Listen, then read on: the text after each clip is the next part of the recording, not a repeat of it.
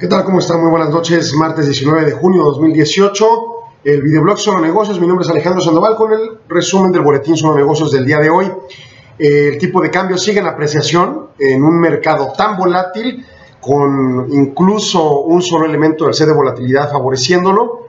Pero bueno, pues así son los mercados. Varios otros elementos de este C de volatilidad realmente están en negativo. Y nos vamos con la información del mercado de divisas. El peso se aprecia según las siguientes presiones. En particular, una mención de Donald Trump, presidente de Estados Unidos, que expone que sí buscan una negociación, que sí buscan un como sí. Entonces eso da parte para concebir, concebir en el escenario del mercado, pues un impulso al tipo de cambio que se aprecia en el dólar interbancario 0.01%, prácticamente nada, 20.5175 pesos por dólar es la cotización a la venta.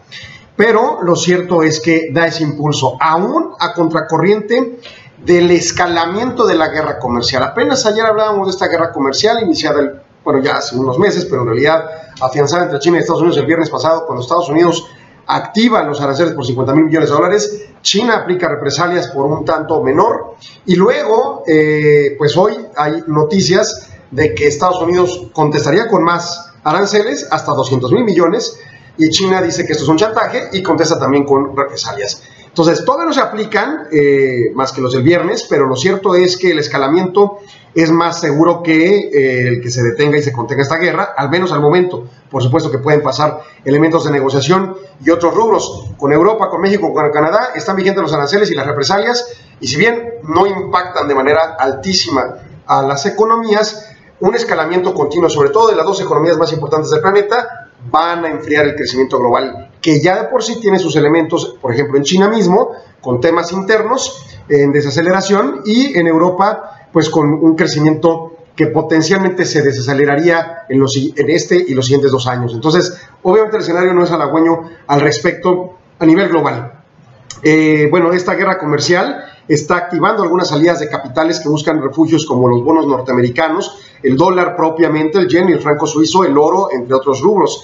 Un conflicto comercial y retiro de estímulos monetarios por bancos centrales que está en vigor, eh, como lo vimos la semana pasada y esta que también es una semana monetaria, bueno, pues básicamente generaría un menor crecimiento global y esto no es positivo. El índice Bloomberg, Bloomberg de dólar spot, gracias a estas movilizaciones, crece 0.25%, fuerte su alza, y el petróleo baja. Entonces, en ese sentido, bueno, pues el escenario realmente no es positivo para el peso, pero se rescata gracias al tweet o comentario de Donald Trump al respecto de Telecan, que veremos cómo evoluciona. El soporte en 2020 a la compra, eh, perdón, el 2020 pesos por dólar y resistencia 21 eh, pesos por dólar al mayoreo. El spread 1.13 se amplía y aquí estamos hablando de spread bancario. Es importante citarlo porque sucede que vamos a empezar a evaluar también el spread interbancario. Y es que el tema monetario persiste esta semana porque seis bancos centrales emergentes, entre ellos Banco de México, así como uno desarrollado, Banco de Inglaterra, toman decisiones esta semana, al igual que los eh, eh, desarrollados de la semana pasada. Pero en particular Banco de México tiene en la, mesa el tema de subir su tasa y o eh, crecer las coberturas cambiarias que tiene colocadas en los mercados y o vender dólares de las reservas internacionales. Esta última se ve muy, muy poco probable. No ha tenido eficacia en los últimos intentos que se aplicó a finales de 2016 y principios del 2017. La tasa sí podría ser impactante, pero en cierta medida. Y luego, por otro lado, va a contener el crecimiento económico mexicano porque va a encarecer el financiamiento. Y finalmente, el tema de, la, de las coberturas cambiarias podría ser la más eficaz. Veremos.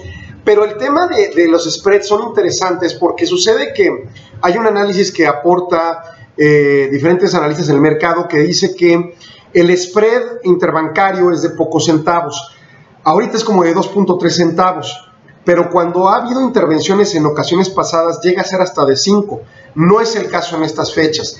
Y eso podría ser un determinante para considerar que no suba la tasa y por tanto se vaya por coberturas cambiarias el Banco de México. Sin embargo, el entorno de presiones, no solo por la normalización, sino las propias de la guerra comercial, pudieran dar de sí para que tenga que subir la tasa el Banco de México. Así las cosas, el spread, en este caso bancario, no interbancario, el bancario sube un centavo respecto a ayer, los futuros mejoran para diciembre de 2018 en punto 19% para un cierre de 21.1461 pesos por dólar, pero la tendencia lineal hacia los siguientes 30 días e incluso 12 meses sigue negativa. Así las cosas, nos vamos, seguiremos con la semana monetaria enfocándonos en esa temática y obviamente hablando de los tipos de cambio específicamente el peso. Muchas gracias por su atención, que la pase excelente.